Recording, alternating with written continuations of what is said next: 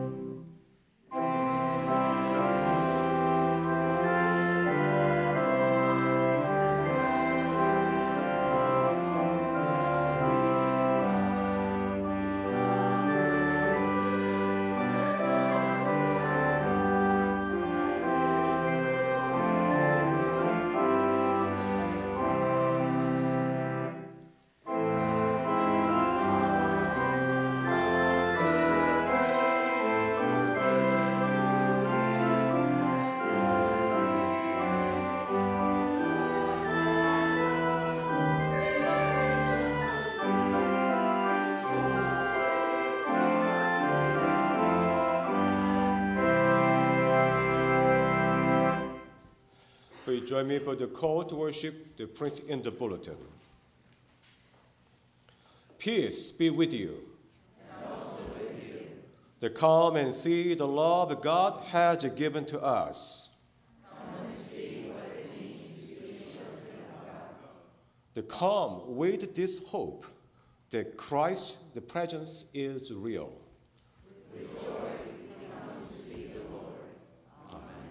Please join me for the affirmation phrase, the hymn page 881 at the Apostles' Creed. I believe in God the Father Almighty, the maker of heaven and earth, and in Jesus Christ, his only Son, our Lord, who was conceived by the Holy Spirit, born of the Virgin Mary, who suffered under Pontius Pilate, was crucified, dead, and buried. The third day he rose from the dead. He ascended into heaven and sitteth at the right hand of God the Father Almighty. From thence he shall come to judge the quick and the dead. I believe in the Holy Spirit, the Holy Catholic Church, the communion of saints, the forgiveness of sins, the resurrection of the body, and the life everlasting. Amen.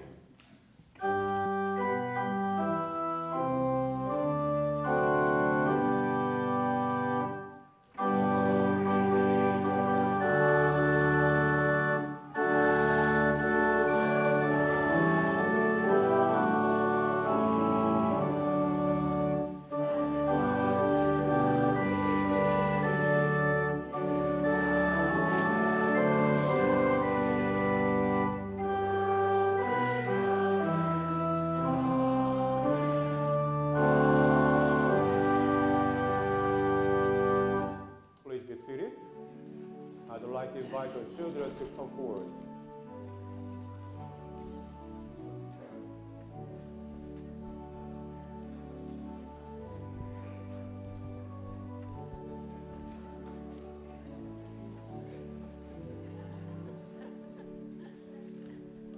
Wow, good morning. Wow. All right, Wesley and Brock, right? So uh, two boys. How are you today? Good. All right.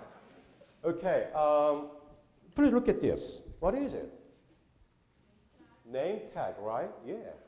And this is my ID uh, showing who I am. Then whenever I join a district at the pastors at the meeting, so this coming Wednesday also, I need to use this one as I have a big college meeting. So this name tag or maybe a driver's license, a photo ID, all they are used uh, to show who you are, right? Yeah. So without it, uh, nobody knows who I am. So today the Bible scripture reading uh, the Jesus Christ after his resurrection that when he tried to show himself uh, in public and in front of many, many people, that Jesus needed uh, his ID uh, to show who he was. Because uh, people were uh, terrified and doubted whether this man, even though they looked like Jesus, don't know. So, do you know the what ID the religion Christ used at the time. Today, the Bible is reading very interesting the verse. Uh, that Jesus said, "Look at my hands and the feet." Again, look at my hands and the feet. That this was uh, the risen Christ, his wonderful idea uh, to show he is the risen Christ. Because uh, Jesus was like uh, the human hands and feet, right? Even he ate at the food. So I think uh, this is uh, this gives a really uh, the meaningful lesson. We Christians, and how can we show ourselves as disciples of Christ or children of God, I believe we also need to show our hands and feet, right? Hands to serve, and the feet uh, to visit and check in and support and do mission and ministry. So we also need the hands and feet, just like the risen Christ needed his hands and feet. So please, after today, that when you go back to your school, please think about it with your hands and feet. And how can you uh, use your hands and feet uh, to show uh, you are Christians, you are people of God, you are disciples of Christ?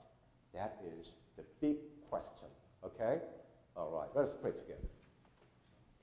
Loving Christ, I know that we know that uh, you after resurrection, you showed you needed uh, your ID uh, to present yourselves. And just like you, uh, we want to use our hands and feet uh, to serve you, Lord, and serve, serve our neighbors, and serve our church. And to Christ we pray. Amen.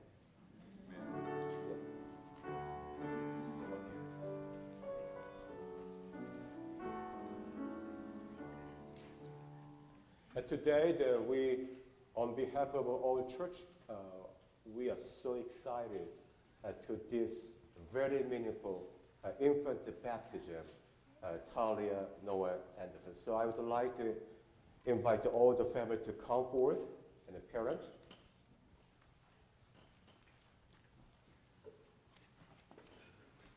The congregation, please open your hymn book, page uh, number 39.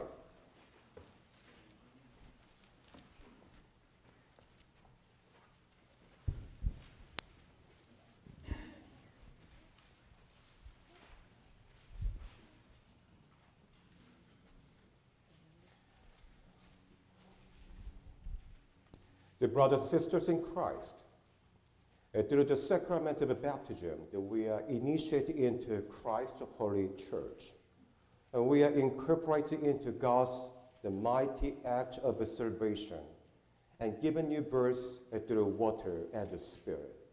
All this is God's gift offered to us without price. I have a question to the family. To who will be the presenting the name of a candidate for this baptism today? The family of Talia Noel Anderson presents Talia Noel for her baptism today. Thank you. I have a question, the number 40 page. Uh, the renunciation of a sin and profession of faith, uh, these questions are to the parents only, the Katia and Brian. On behalf of the whole church, I ask you, uh, do you renounce the spiritual forces of wickedness, uh, reject uh, the evil powers of this world, and repent of your sin? Say, we do. We do. Uh, Do you accept the freedom and power God gives you uh, to resist evil, injustice, and oppression in whatever forms they present themselves, saying, We do. Uh, do you confess Jesus Christ as your Savior? Uh, put your whole trust in His grace and promise to serve uh, the Him as your Lord in union with the church uh, which Christ has opened to people of all ages, nations, and races, saying, We do. We do. Uh, will you nurture Talia Noel Anderson in Christ's Holy Church that by your teaching and example they may be guided to accept God's grace for themselves and to profess their faith openly and to lead the Christian life, saying, We will. We will. Thank you. And now the question, the next uh, for the congregation. Please open your hymn book, page number 40, uh, section number 8. Uh, do you, as Christ's body, the church, uh, reaffirm the both your rejection of sin and your commitment to Christ? Will you nurture one another in the Christian faith and life and include uh, the Talia uh, now to before you in your care? God's help. And live according to the example of Christ. With the community of love and forgiveness, and she may grow in her service to others. We will pray for her, and she may be true disciple who walk in the way that leads us to life. Thank you. And let us pray together.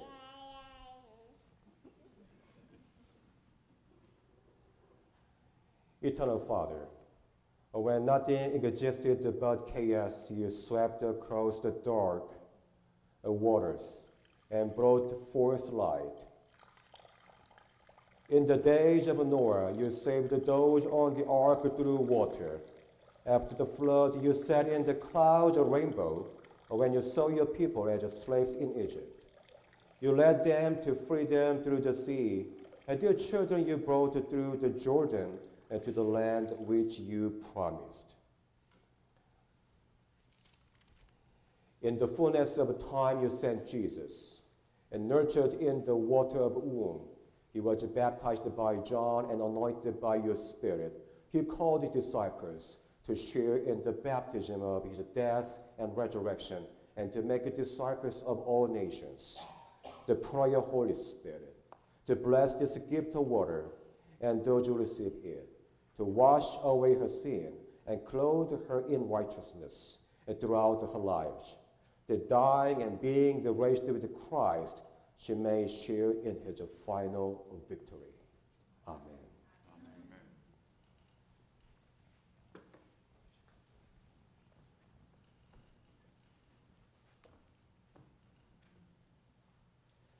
Talia Noel Anderson, I baptize you in the name of the Father and of the Son and of the Holy Spirit. The Holy Spirit, the work within you, that being born through water and the Spirit, you may be a faithful disciple of Jesus Christ. Amen. So please open your hymn book, page 43, at the first paragraph. Now, it is our joy uh, to welcome Talia Noel Anderson in Christ. Through baptism, you are incorporated by the Holy Spirit in God's new creation and made to share in Christ's royal priesthood. We are all one in Christ Jesus. With joy and thanksgiving, we welcome you as a member of the family of Christ. Amen. Please open your hymn book, page 191. Let's that Jesus loves me at two times and marching time to follow me.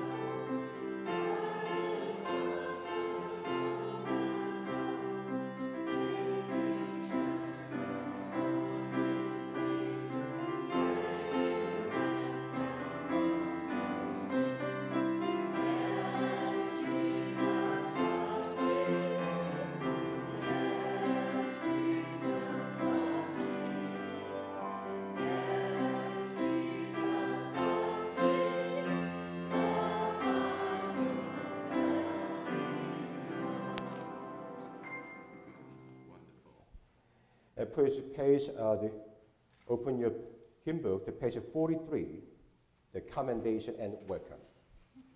And the members of the household of God, I commend uh, Talia Noel Anderson to your love and care. Do all in your power uh, to increase her faith, confirm her hope, and perfect her in love. We give thanks for all that God has already given you, and we welcome you in Christian love as members together with you in the body of Christ and in this congregation of the United Church.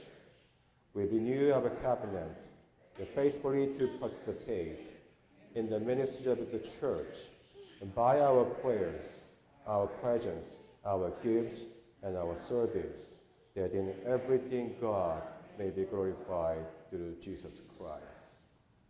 The God of all grace, who has called us to eternal glory in Christ, establish you and strengthen you by the power of the Holy Spirit, that you may live in grace and peace.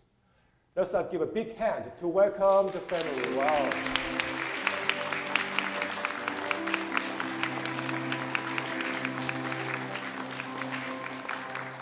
You did a wonderful job. Could you go back your feet?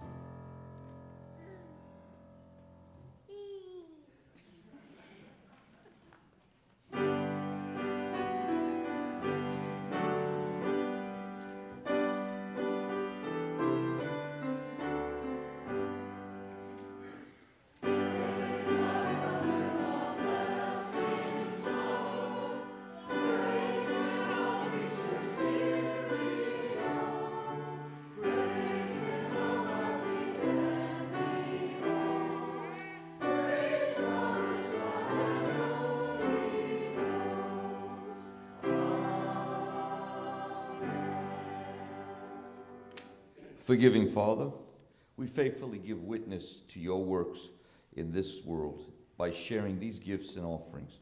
You share your Son, Jesus, so that we may repent of our sins and be saved. Thank you for providing us with the example of how to place courageously your call of dis- discipleship into action. We pray that we may live each day according to his holy ways. In the name of the great teacher, Jesus the Christ, we pray. Amen. I pray to be seated.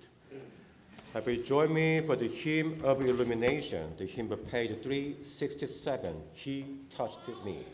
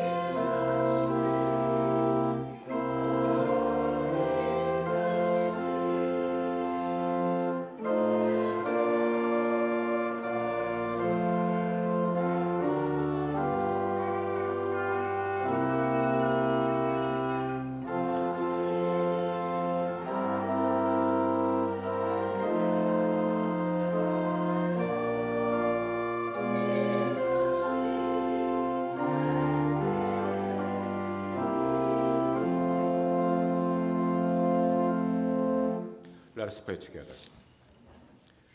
O Lord of dawn and darkness, how grateful we are for your loving mercies. You saw our fear and doubt, our suspicion, our mistrust, and you banished them from our lives, replacing them with your hope, peace, love, and joy. You called us to be your witnesses to all the world unafraid of what others might think or say about us. We have been invited out of our darkened hideaways in the light of your world as emissaries of hope and justice, of peace and compassion. Uh, be with us this moment as we participate in ministries of healing and hope uh, through St. John's in our community, region, denomination, nation, and world. To give us courage and strength to be your disciples in all the circumstances of our lives. In this moment, we ask for your peace for your children in this world. And to Christ we pray. Amen. And the scripture reading this morning is from the Gospel of Luke, chapter 24, verses from 36 uh, through 48, the print in the bulletin. While they were talking about this, the Jesus himself stood among them and said to them, The peace be with you. And they were startled and terrified and thought that they were seeing a ghost. He said to them, Why are you frightened? And why do doubts arise in your hearts? Look at my hands and my feet. See that it is I myself. touch me and see. For the ghost does not have flesh and bones, as you see that I have. And when he said this, he showed them his hands and his feet. Yet for all their joy, they were still disbelieving and wondering. And he said to them, Have you anything here to eat? And they gave him a piece of a broiled fish, and he took it and ate in their presence. And then he said to them, These are my words that I spoke to you while I was still with you And that everything written about me in the law of Moses, the prophets, and the Psalms must be fulfilled. And then he opened their mind to understand the, the scriptures. And he said to them, Thus it is written that the Messiah is to suffer and to rise from the dead on the third day, and that repentance and forgiveness of sins is to be proclaimed in his name to all nations beginning from Jerusalem. You are witnesses of these things. This is the word of God for us, the people of God. Thanks be to God. A couple of weeks ago, I preached with uh, the First Corinthians chapter 15 from verse 1 to 11 on Easter Sunday. Anybody who remember that?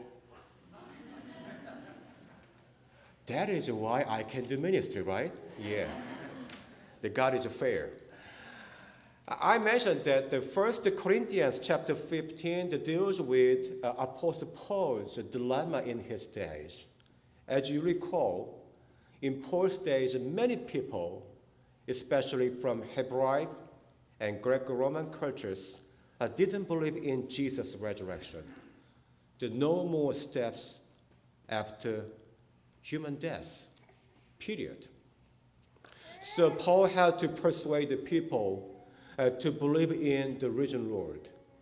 But in the story today, we learn that Apostle Paul was not the only one who faced uh, this challenge. The Luke was also wrestling with uh, the issue of Jesus' resurrection seriously. It was not negating the Jesus resurrection, uh, but misunderstanding Jesus resurrection as ghost face or hallucination that when people saw the risen Lord. So uh, Luke chapter 24, uh, verse 37, I think this is a key verse uh, to read the story today. It reflects uh, what people simply understood and what Luke worried about clearly. The verse 37 says, They were startled and terrified and thought that they were seeing a ghost. The, this issue, uh, we see a tone of blaming people uh, for their disbelief in Luke uh, more often than in other Gospels. Likewise, uh, chapter 24, verse 5, in their fright, uh, the women bowed down with their faces to the ground. Uh, but the man said to them, Why do you look for the living among the dead? At the verse 25, uh, the chapter 24, he said to them, How foolish you are, and how slow uh, to to believe all that the prophets have spoken. The knowing that the Luke's the mission to focused on the Gentiles in his days with his uh, knowledge in uh, the medical area. Uh, we see how hard uh, Luke tried to convince the people uh, to believe in Jesus' resurrection. A couple of things require our attention first. In the story today, uh, we see this wonderful expression, my hands and my feet. The Luke chapter 24, verse 39, saying, Look at my hands and my feet. See that it is I myself. And touch me and see. For the ghost does not have flesh and bones, as you see that I have. Look at my hands and my feet. Luke wanted to know, a show of the people that Jesus' hands and the feet literally and physically. It's hard to say that, that Jesus meant his stigmata. They're a totally different area. Uh, rather, uh, the risen Lord hoped the people to understand that he had a real body, uh, which was like uh, presenting the physical evidence. The second, had to undergird uh, his resurrection with a real body. The story today shows a scene of Jesus eating a piece of broiled fish in front of people. The Luke chapter 24, the verses 42 and 43 says, saying, they gave him a piece of broiled fish, and he took it and ate in their presence. Do you know this? Uh, these verses in only in Luke present the Jesus eating food after his resurrection. Uh, these two verses are only ones showing the Jesus physical eating food. Matthew and Mark have no mention of eating food uh, by the risen Christ at all. In John chapter 21, still uh, a little bit controversial because, uh, as we know, uh, John chapter 21 is uh, a kind of additional chapter. And actually, the John ends with uh, chapter 20. So anyhow, in John uh, 21, there is a story of fixing the breakfast by the risen Christ in the Sea of Tiberias for his disciples. But it's hard to see that uh, the risen Lord was eating breakfast with them. So the John chapter 21, uh, verse 12 and 13 saying that Jesus said to them, Come and have breakfast. And now the none of the disciples dared to ask him, Who are you? And because they knew it was the Lord, that Jesus came and took the bread and gave it to them and did the same with the fish. It is hard to see actually that Jesus was eating the food with them. If so, it is no exaggeration to say that the Luke only presents at the risen Lord eating food physically in the story today. It means that uh, the risen Lord had his body and ate the food like us. And this was the Luke's the message in the story today. The a question for you.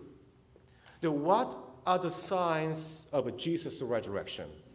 I believe uh, these three keywords are good enough to show it in churches today. Hands, feet, and food. Hands, feet, and food. The what makes what make churches be the God's churches? Uh, by hand to serve, feet to visit, and food to share. And this is what we are doing now. So ultimately, it was what the risen Lord uh, did after his resurrection.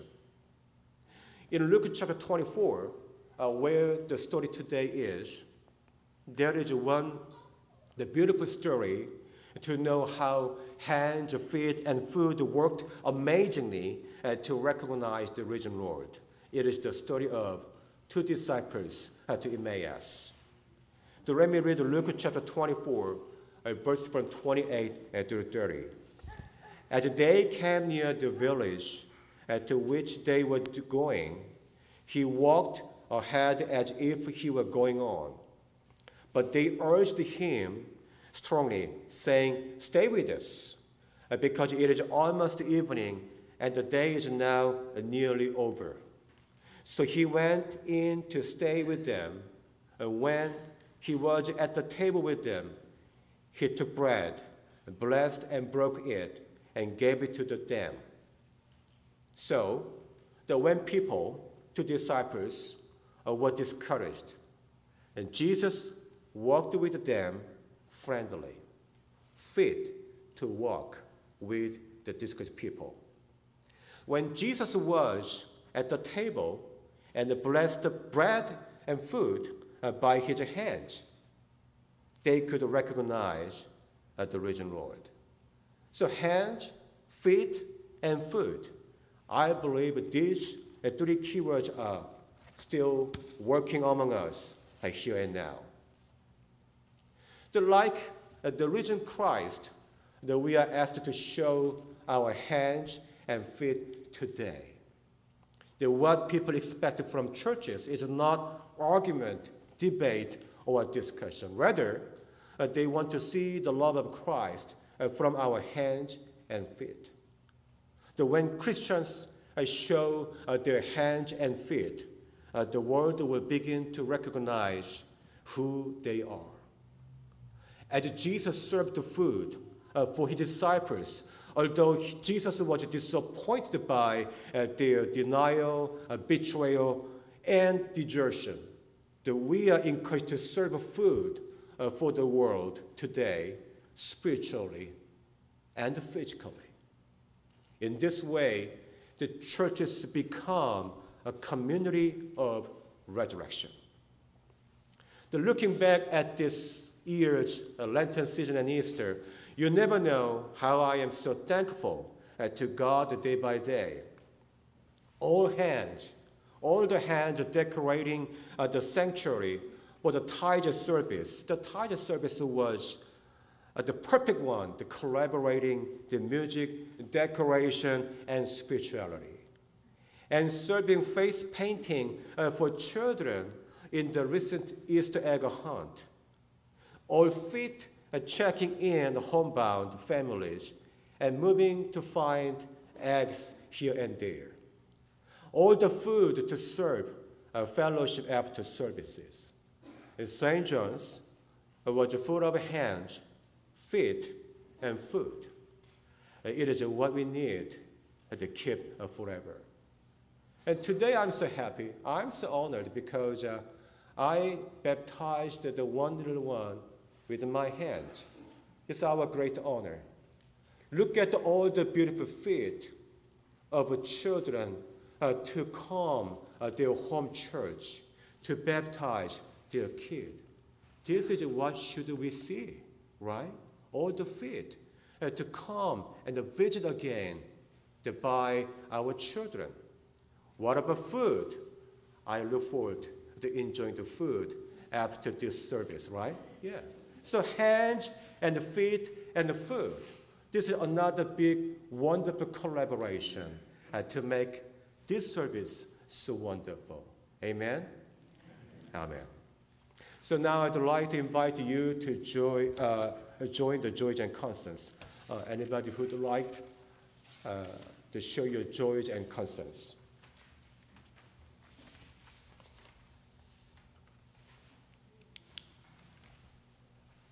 Oh, Debbie. Um, as many of you may have known, there was a tragic house fire in Clifton on Wednesday, and I'd like you to keep the Bryce family in your prayers as their two sons, William and Zachariah, are in Children's Hospital in very grave condition, and they expect some more testing today. But also keep the first responders in your um, thoughts and prayers from the dispatchers who took the call from one of the sons to the firefighters who heroically tried to rescue the children and revived them to the workers in the hospital who are caring for them. Oh, yeah, definitely our, our prayers go for all the family. Thank you, Debbie.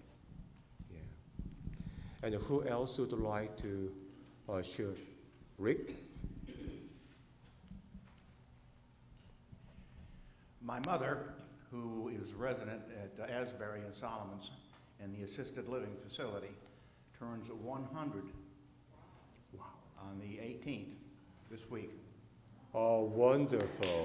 Yeah. 100. Thank you. Wow, exciting. Yeah. And who else would? Yeah, Anne? Um, I just wanted to, um, say a couple of words about, uh, Anne Langley, uh, who passed away. Um, she was a wonderful member of this choir, was very active in celebration singers. Uh, she was a nurse who had served in Vietnam, and, um, she was a pistol, a Texan from the get-go, and just a wonderful addition to, uh, Yes, thank you. She was also in Senior Saints, and um, she played guitar. And I, I just wanted to share that because she, you know, her, she has uh, gone to her maker and uh, her award. And there aren't, her family isn't here, they're, they're uh, scattered throughout the country. And also on that note, she and Betty were such good friends, and they traveled together, and they also were in Celebration Singers together and Senior Saints. And um, so let's keep Betty in our prayers too, because she apparently is, is suffering from dementia uh, out Can, out in Kansas, but she is near her daughter, as I understand. So just a tribute to them. Thank you, Thank you Anne. Yeah, right. And also the Anne Langley that served uh, the blood donation, the drive, right? Yeah. So, yeah, that And we. Betty also served in Vietnam too, as a nurse. Yeah, right. Thank you. And who else would like to your uh, sharing your joys and concern? Well, by the way, we need to pray for the peace in the world, right? Yeah. The very serious, uh, the the happening in uh, Israel and Iran. So, yeah. Anybody who would like to uh, share your joys and concerns? If not, let's bow down our head and take a moment to, to pray in silence. Let's pray in silence.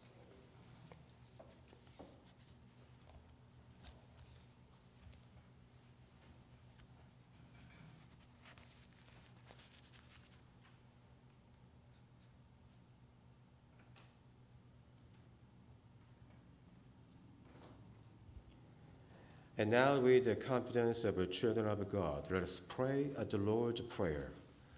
Our Father, who art in heaven, hallowed be thy name. And Thy kingdom come, thy will be done, on earth as it is in heaven.